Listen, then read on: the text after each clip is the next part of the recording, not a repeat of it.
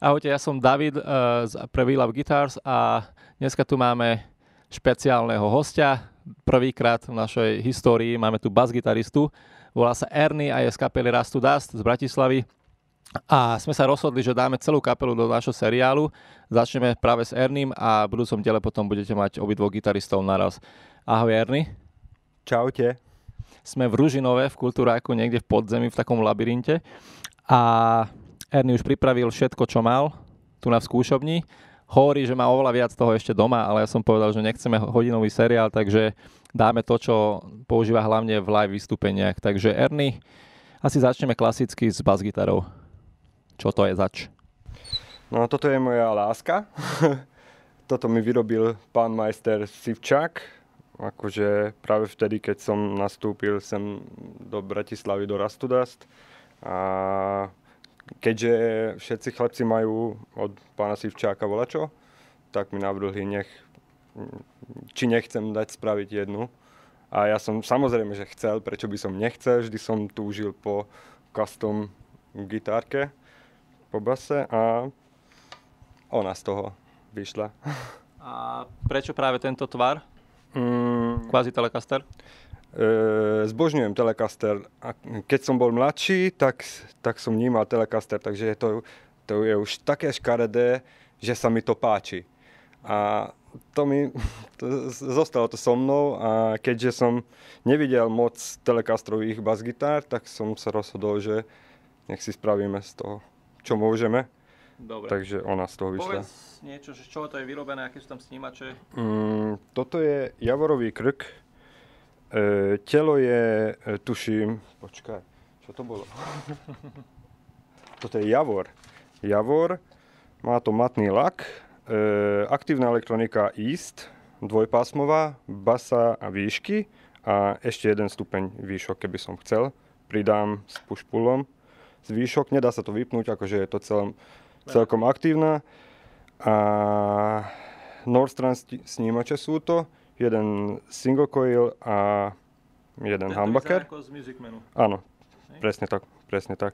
Páči, páčil sa mi Music Man, ako to znie a mm, aj, aj tie snímače sa mi páčia, že majú, majú také, neviem, taký typický, typický tvar.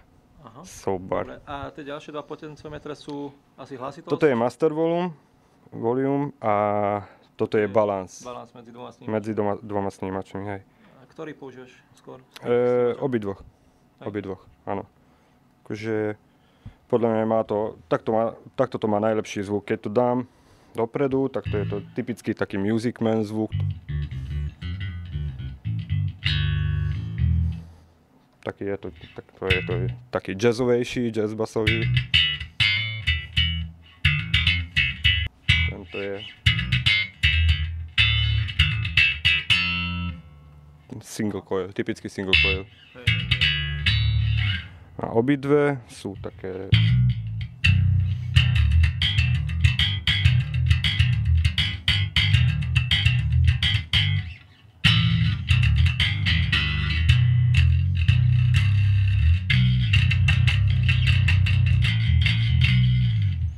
toto je poloha, ktorú využívaš asi najviac.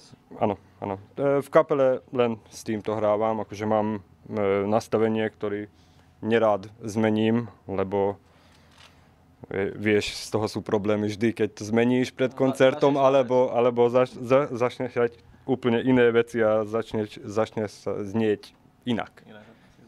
inak. Takže... Aj to riešite s kapelou, že v ktorých frekvenciách by si mal znieť ty a kde gitary napríklad, aby ste na neboli na No povedal by som, že neriešime, ale, ale predsa to musíme niekedy. Akože závisí to aj, aj od priestoru, že kde sme. Tu v skúšobni máme také stále nastavenie, nastavenie ale, ale niekedy, niekedy mm, si to riešime tak, že, že neviem, ja mám rád tie, tie silné ostré zvuky a z toho musím niekedy odrezať alebo pridať, aby, aby sa to počulo, lebo s dvoma gitármi je to dosť hučné. Ja. Hučí to. Uh, si ladený štandardne, alebo? Nie, toto je Háčko. Úplne Háčko. H-E-A-D. H, HEAD. Okay. A struny používaš? E, struny používam mm, Dadaria, Dadaria 125 myslím. Akože, používal som rotosómy, rotosoundy, ale potom som vyskúšal toto a viac mi to sedí. A je to, je to také, také výškovejšie, silnejšie, ostrejšie a, a viac to vydrží. Aha. Takže nemusím to toľko meniť. Dobre. Aj keď to rád mením. Hej. Toto je moja tzv. backup gitara.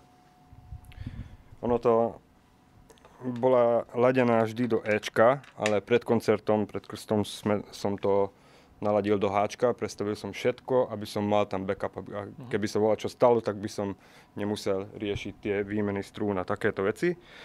Toto je úplne taká a... záhadná gitara. Hej, hej, presne nevidím tam nič na tom. Áno, presne tak. Není, tam, není na tom nič. Akože ani, ani neviem presne, že odkiaľ je. Viem o tom len toľko, že pán, môj dobrý priateľ aj tvoj, Imi Tilajčik, mm-hmm mi to predal vtedy, mi povedal, že bol to výstavný kúsok vo Frankfurte na Music Messe niekedy. E, Turza Ďuri, Tuky, vyrobil e, do toho elektroniku. Juraj Turza je typek z Dunajskej stredy, ktorý vyrába snímače pre Kent Armstrong. Áno, on je, že vraj je druhý, ktorý môže používať. Hej, pár ľudí má licenciu na to, aby vyrábal snímače, tak Juraj... On je druhý. On je druhý na svete, hej. A pra- býva práve v Dunajskej strede. Akurát, Akurát. A že toto bol taký výstavný kúsok, tam vyrobil do toho snímače aj elektroniku a telo vyzerá na spektora, ale vôbec žiadne označenie to nemá a netušíme, že odkiaľ to je. Tak ke- keby to volá kto vedel, tak bol by som rád, keby Takže toto bude súťažná otázka, že kto uhádne alebo navrhne, že čo to je zač. Uh-huh ale milujem ju možno práve preto, lebo nikde inde som nevidel takúto a Máš jedinečný kúsok, gitary, áno, jedinečný kúsok. A je to aktívne alebo pasívne? Je to aktívne, ale môžem to vypnúť tiež. Uh-huh. Aktív, pasív, push pullom. E, tiež dvojkanálový, lebo že so stredami na aktívnej elektronike na base som vždy mal problémy. Akože neviem, neviem s tým nič spraviť, radšej to nechám v strede, lebo niekedy mi uhryzne tie frekvencie, ktoré by som chcel a niekedy je to až moc silné, a takže neviem, neviem do toho, na, nič, nič s tým neviem spraviť, tak, takže stále používam len tie dvojpásmové, keď sú to aktívky. Uh-huh. Tak Dobre. tuto mám no takto, že... Aha. Dobre, dám.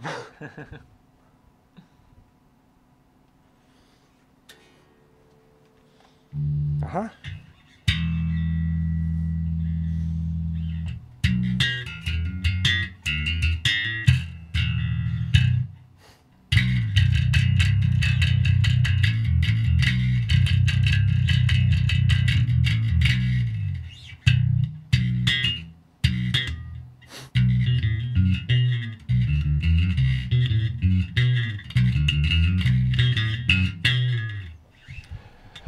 Hráš hlavne prstami alebo používaš aj trsátka?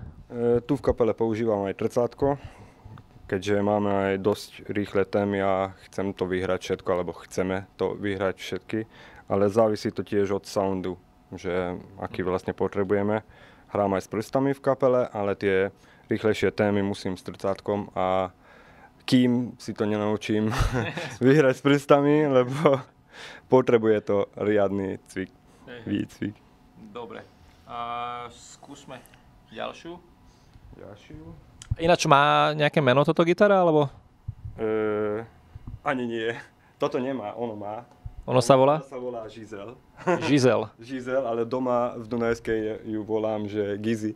Gizi, aha, ako Gizel. Ako... Toto je tiež od uh, Tukiho, Juraja Turza. On to našiel... Ako myslíš snímače alebo celá gitara? Celá gitara. Aha. Toto ležalo u neho v pivnici asi 20 rokov. Je to e, len telo. Len telo tam, tam našiel. Predal mi to za vtipné prachy, akože za nič. Vždy som chcel mať e, Thunderbirda. Aha. Potom som z toho vyrástol a keď, keď som už nechcel, tak sa mi ozvali, že á, máme tu Thunderbird a, a je to non-reverse. Aha Takže, takže tele som zobral do Kolárova e, ku chalanom GV Guitars. Aha. E, oni mi to poskladali celé, aj hardware, všetko. Ináč sú dosť dobrí chalani, takže kľudne, keď volá kto volá, čo chce nastaviť alebo vyrobiť gitaru, tak môže ísť. A oni mi to poskladali celé. E, A tu dala si elektroniku? Tuky dal, pridal elektroniku aj snímače a tiež je tam jednoduchá aktívna A elektronika. čo to je za značku? Toto bol Epiphone Aha. niekedy, to, toto že vraj bol prototyp Epiphonu, ktorý by chcel Tuky dať e, vyrobiť, Aha. akože spra- e, spraviť, spravili by z toho sériu, ale on mi vravel, že nikdy sa to nedokončilo, takže že vraj aj toto je jedinečný kúsok, aj keď to mal nadpis e, Epiphone, ale dal som... Je tam, že GV gitara. Áno, áno. Lebo oni to, oni to vlastne poskladali a mm, povedal som im, nech tam dajú niečo od nich. Krk veľmi pekne premalovali. Toto má tiež e, javorový krk. A aj má, len je to premalované celkom na čierne, lebo sa mi to páči, ani neviem, že prečo. Toto je Tiež aktívna. tie, tiež aktívna. Takisto tu mám balans, tu mám master volume, basy a výšky. Hej. Najjednoduchšie, čo môžem mať. Takto sa mi to páči. No. Ono je najhlbšia basa, čo mám.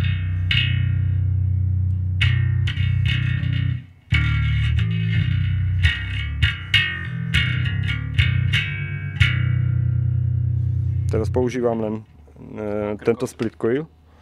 E, až tak sa mi nepáči tento humbucker. Možno, že, neviem, možno, že umies, s umiestnením je problém, ale, ale toto sa mi veľmi páči a takže to je taký divoký zvuk. Áno, toto používam aj s, s fázom.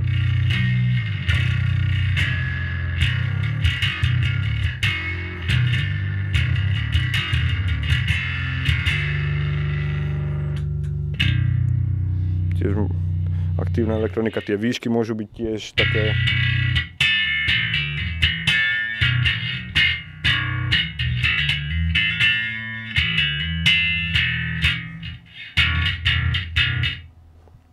Máš pekne ostré zvuky. Áno, áno. Mám to rád, lebo e, pracuje, e, akože počujem všetky rytmiky vtedy. Keď, keď to len hučí bum, bum, bum, bum, bum, takéto veci, tak nepočujem, že nepočujem ten atak, že kde som to vlastne začal a stratím sa v tom, vieš. Keď, Potrebuješ mať, aby to bolo konkrétne, aby to áno, áno, potrebujem tie konkrétne zvuky. Dobre. OK. Toto je jednoduchý Ibanez. Nikdy som nechcel mať šestronovku, ale toto sa stalo tak, že tiež za smiešné prachy som to dostal. Takže začal som na nej hrať a bolo to také, akože, ako by som, musel som ešte raz naučiť, lebo má to veľmi široký krk, ale ináč brutálne pohodlný krk. klasický Ibanez. klasický Ibanez. A je to aj asymetrický trošku. Tuto je tu tenší, tuto je to trošku hĺbší, hrubší. A toto máš ladené ako? Tiež do Háčka, štandard Háčko. H, E, A, D, G, C. Ako basa, nie ako gitara. Takže tuto e, po tejto gitare e, je tak, e, na štvorstrunovke je také, ako keby som hádzal s medicínovou loptou na kôš a potom prejdem na normálnu loptu a, a oveľa jednoduchšie, ale stojí to za to ináč. Má to veľmi dobrý krk, mo, trošku má slabší signál ako tie ostatné. Tak Je to aktívne? Tiež. Áno, aktívne, nedá sa to ani vypnúť. A tu mám jeden problém, práve tie stredy, čo som spomínal, že radšej to nechám v strede.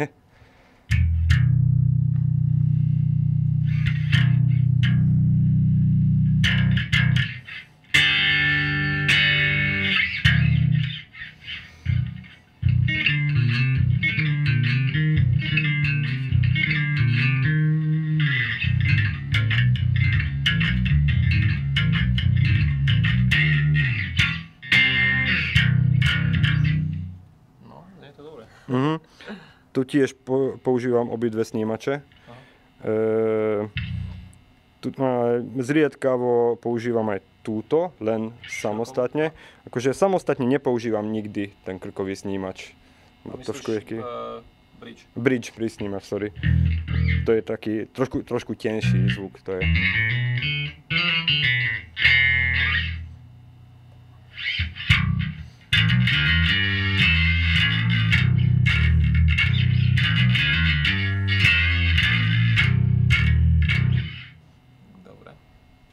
A máme ešte jednu gitaru. Toto je jednoduchý Squire. Akože bol, to je jednoduchý Squire. Kúpil som to tiež za smiešné prachy a potom som dal prestaviť celé. Akože nie som bohatý, nemá- nemám preto tie, tie, tieto gitary a toľko z nich, len, len našiel som shodou okolností Dobrý takéto zdroj. veci. Dobrý zdroj, áno. To bol úplne jednoduchý Squire. Potom som to zobral do Kolárova zas. Aha. Vybrali mi odtiaľto prasce, lebo chcel som vyskúšať aj, aj bezprascovú basu a flatone struny, Aha, Úplne. jazzové struny. jazzové struny. Dal som tam tu finger rest, či ako sa to volá, lebo rád hrám túto. A to už ne, neviem, ako, ako to nie, niektorí vyriešia na precisionoch, že. Keby tu, to chceli hrať, ale ja som tu dal sem ten finger rest. A toto je pasívne. Toto je úplne pasívne. Tiež Jury Turza tie snímače tam pridal a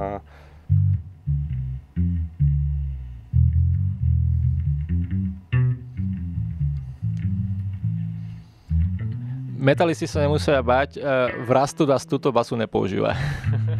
nie, ale tiež by som e, povedal, že nejde, nie je všetko len o metále a o roku a o všetko. Akože treba, treba si trošku vnímať svet otvorene, lebo Hej, hej, hej. nemám rád takéto, vieš, že len jeden žáner existuje. To nie je pravda. Všetci, všetky metalisti, aj Ondro tu zvykával jamovať nejaké funky a takéto veci, takže podľa To mňa treba... opýtame.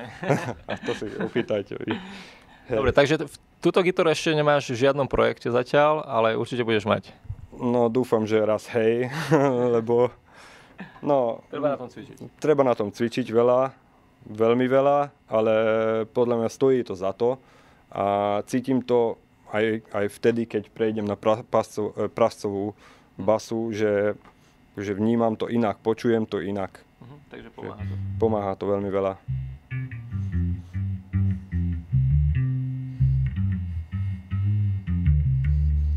Takže sme prešli všetky gitary, ktoré tu máš a ideme na aparát a potom na pedalboard. Takže ako vidím, aparát máš Mark Bass, aj hlavu, aj bedňu. Zvlášť, prečo práve ten, táto firma? Ani neviem, zapáčil sa mi ten zvuk a je, je to ľahké. Akože nie som silák a aj bedňa napriek svojim rozmerom je celkom, celkom ľahká. Tu, táto hlava sa mi zapáčila, um, ani neviem prečo, vyskúšal som milión vecí, aj Ampeg, aj všetko. A toto bola taká, taká že malinká. A strčil som do toho basu a ani som nemusel nič robi, robiť s korekciou, akože vyšla z toho taký zvuk, čo som chcel, akože a mi to postačí. Akože nevravím, že nie je od tohoto lepšie, lepšia značka, alebo mm, ani neviem čo, ale mne to úplne postačí. A má to 500 W, bedňa je 4 ohmová a 800 W, takže je tam aj tá rezerva, čo potrebujem. Akože asi na to- 500 W nehráš. Ani nie. Ako málo, málo kto hrá na Slovensku na 500 Áno, áno. A na čo by, na čo by hrali, na čo by hrali. Akože vždy zvukári na nás kričia, že aj, uber z toho, lebo už nič Klasika. nepočujem. Klasika, všetko klasika. Hej, uh, počuli sme, že tvoje zvuky sú strašne také ostré. Mhm. Máš to nejak korekčne na, na schvál tak upravené, aby tam tie výšky... Áno, áno. Mám tu výšky trošku viac. No, takže vý, výšky máš na, tak na skoro 2 hodiny, dajme tomu. Mhm, A mhm. ostatné tak skoro na strede. Skoro na strede, áno. Nič iné som v tom, tam neriešil, len toto je jedno zaujímavé. Toto je zaujímavá vesička. Toto je Vintage Loudspeaker emulátor, čo odreže tie, tie výšky. Aha, Takže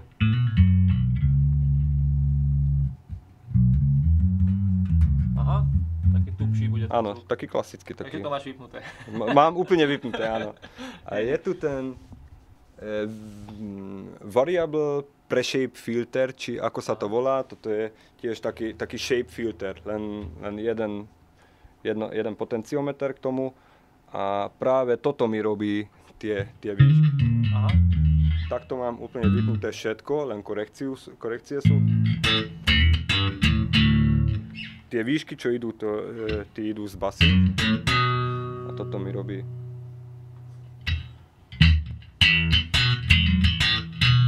Pri, pridá aj basy, pridá aj, aj výšky a mierne ubere stredy. Áno, áno, áno, áno, Dobre. Čo ma prekvapilo, že gain máš asi na 9 hodín, takže Áno. celkom málo. áno. Takže Mm, ostatné ťaháš z pedálov a... Áno, áno, presne tak. E, nechcem, aby, nechcem vypáliť všetko. Aha. A takto mi to postačí. E, nemám rád, keď to, keď to už e, prejde cez nejakú hranicu. Aj takto je to také ah, hrozné niekedy. E, gain mám úplne skoro, že nič. Hej. Nič. Všetko ťahám odtiaľto a potom ti to ukážem, že prečo. Dobre. E, môžeme ísť na to ináč, na pedalboard, Dobre. ktorý je takže- rôznorodý. Presne tak. Takže z gitara ide najprv asi E, vysielačka. vysielačka, to je ten šúr. Toto je ten šúr. Potom ideme do ladičky. Toto je najhoršia ladička na svete. Prosím vás, nekúpte to. Ondro, Ondro to volá, že e, True Hike Pass. Pozri sa. Aha, akože má vlastný zvuk. Má vlastný zvuk. Nechápem to, nechápem to, ale bola to lacná. Zatiaľ mi to postačí, aj tak to vymením niekedy. Potom idem do Sanzampu. Akože toto je prvá. A veľa ľudí sa ma pýta, že prečo práve preamp je prvý a nie posledný v rade. No práve preto, lebo ja už e, ten definitívny, ten koncový zvuk chcem efektovať. Aha. Takže mám tu nastavený ten, ten zvuk, čo používam stále a potom na to idú tie efekty. Keby som, keby som to dal nakoniec, tak ten, ten vah by to určite zmenil, aj fuzz, aj oktáver to. Aha. Takže po rokoch som na to prišiel, že treba to dať dopredu. Zajímavé. Takže máš jeden preamp na začiatku a jeden Áno. na konci. Áno. Toto je, toto je stále zapnuté. Toto drive ani nepoužívam, len minimálny šmrnc tam dám z toho. Tiež blendujem len tak viac trošku ako polovicu, lebo chcem tam aj ten, ten ozajstný zvuk tej basy. Akože presens tam pridávam trošku, aby to tam bolo. A z tohto idem do vahu. A tiež. Crybaby, Crybaby Basswah, áno. A, A to potom- Často, alebo? Mm, pomerne často. Akože keď som to kúpil, tak som si myslel, že nikdy, nikdy s tým nebudem spraviť nič, ale chcel som to vyskúšať a, a teraz už e, je stálym členom. Hej, hej, Konkuruješ gitaristom. Konkurenč gitaristom tiež, áno. Potom idem do kompresoru, až, až e, po vahu. Práve preto, lebo vah e, strašne pridá niekedy tie výšky, aj, aj ten signál zmení úplne, takže, takže potom som dal ten kompresor lampový, to je Mark Bass. E, Stále je to, stále je to zapnuté, áno. Sám sám a kompresor máš stále zapnutý. Áno, áno, áno.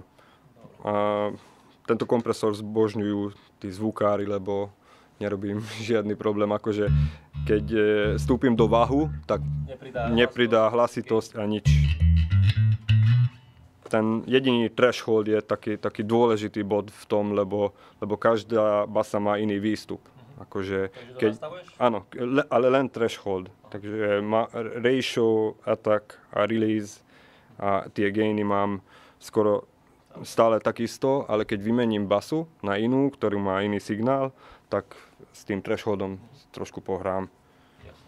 Potom idem do, do toto je Germanium Fuzz. Toto je z Maďarska, jeden môj kamoš vyrába takéto vecičky. Tak povedal by som, že butik pedál. Toto je e, fuzz na, na basu. Mm, Poznám verziu pre gitaru a tiež je to super. je to super, je to super. To, toto je verzia práve pre ba- basu a z toho je to vyvinuté z tej gitarovej. Toto je oktáver. Zapni nám ten pás. Aha. Akože blendujem len, e, to len do polovice, aby som počul aj ten poriadny hlas. Takto, to, takto je to úplne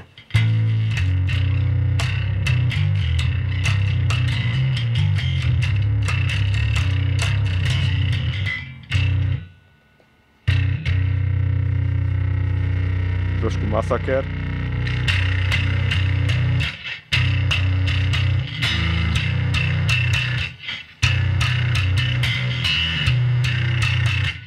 Toto je už moc, ale, ale zvládne to, takže... Skúsim nájsť to, čo, to, čo, som mal.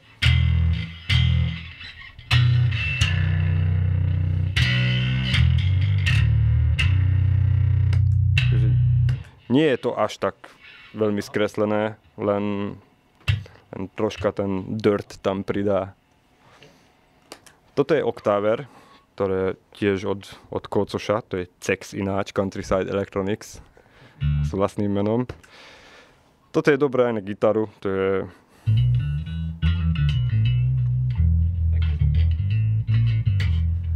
Má tam, má tu... Ops.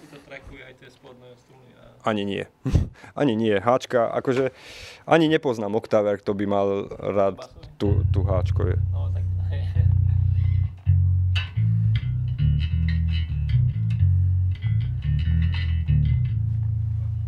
Ale ináč celkom fajn. Celkom fajn. Je tu, je tu jeden taký, taký knobík, že trošku to spraví, e, povedal by som, že naturál a trošku taký syntetizátorový zvuk. To, tak to je. Trošku taký oscilovaný. Toto je taký...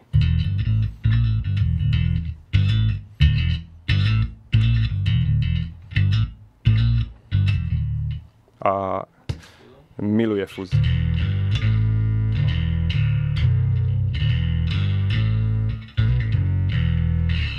Tiež va. Takže z oktáveru ideme do toho flashbacku. Áno, TC Electronics, zbožňujem tieto mini pedále od nich, lebo sú dobré, akože poriadne aj zvukovo, kvalitné sú. Má to aj USB výstup a ten tone print. Tá funkcia sa mi strašne páči. Niektorí mi vravia, že to by si už nemal, to je už čáro, to by si už nem- nemá robiť. Takže jednoduchý.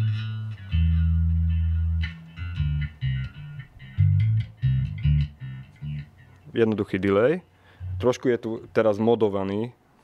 Je, je tam nejaký flanger na, na delay. Skúsime ten, ten tone print.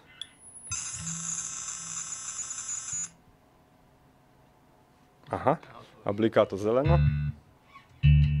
Aha, úplne iný.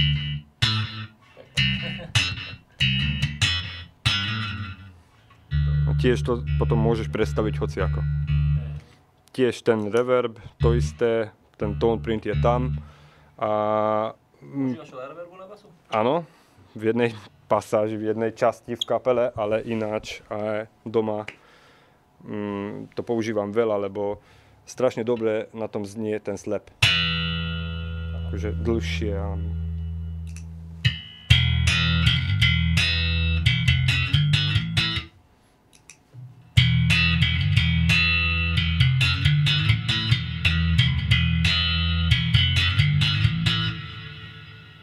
trošku to pomôže a tiež to môžem predstaviť s tom printom hocikedy.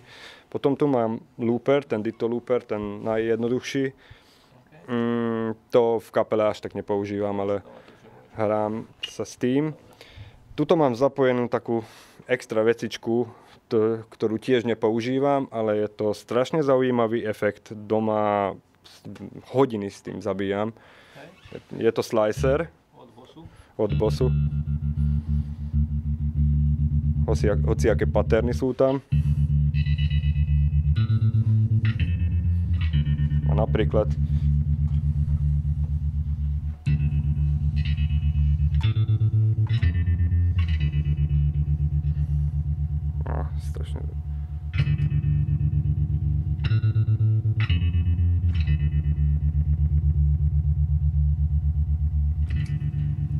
som to zastavil. Nevadí. A tuto teraz môžeme hoci.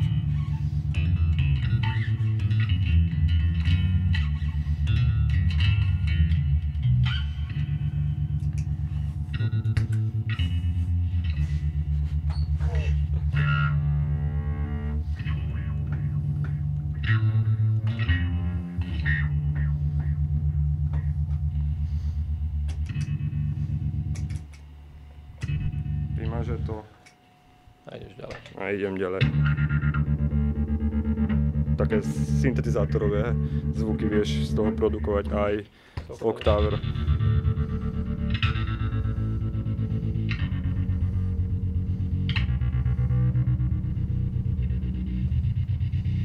Toto s looperom, s delayom, reverbom, fuzz. Octaver, to hodiny s tým zabiješ doma.